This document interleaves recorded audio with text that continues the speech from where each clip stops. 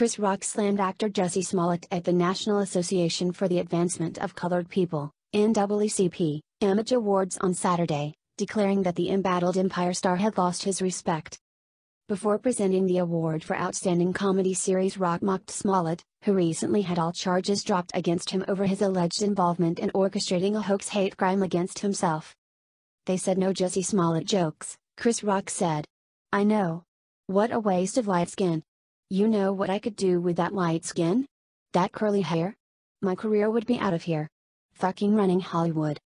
The decision to drop charges sparked outrage across the country, with considerable evidence indicating that Smollett filed a false police report in order to secure an increase on his salary on the Fox show Empire.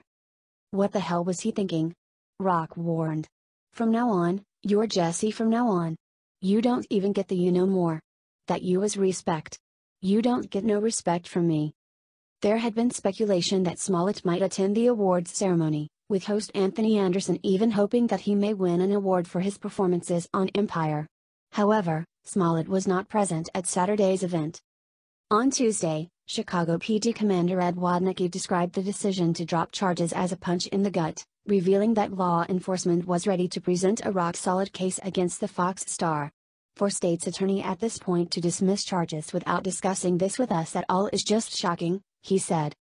Meanwhile, Chicago's Democratic Mayor Rahm Emanuel denounced the move as a whitewash of justice, this is a person now who has not been let off scot-free with no sense of accountability of the moral and ethical wrong of his actions from top to bottom, he said of Smollett. The NAACP blamed blamed President Donald Trump for the hate hoax.